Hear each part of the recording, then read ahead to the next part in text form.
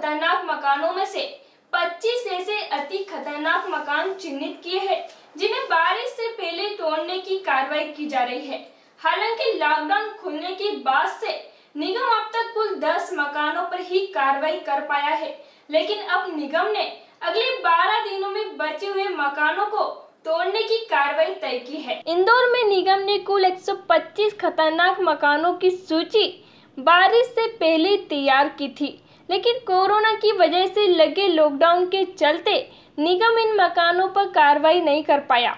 अब लॉकडाउन खुल चुका है।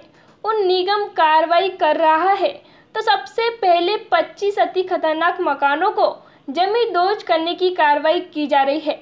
इस कड़ी में आज निगम के अमले ने छावनी क्षेत्र के उषागंज इलाके में एक अति खतरनाक मकान को जमी दोज किया। इस दौरान क्षेत्रीय जनप्रतिनिधि ने निगम की कार्रवाई पर सवाल खड़ा करते हुए इसका विरोध भी किया।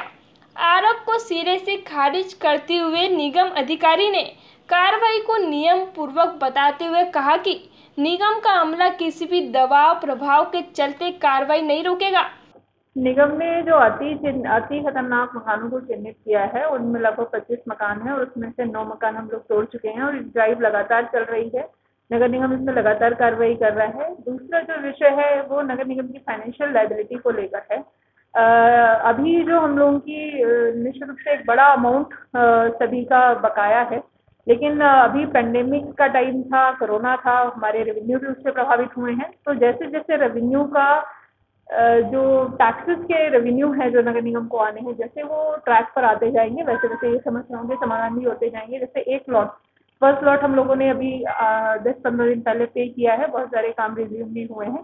तो मुझे उम्मीद है कि बरसात के बाद, बरसात में वैसे भी के काम कम होते हैं दिक्कत होती काम करने में तो बरसात के बाद ये सभी काम अपने फुल पेज पे लौटेंगे।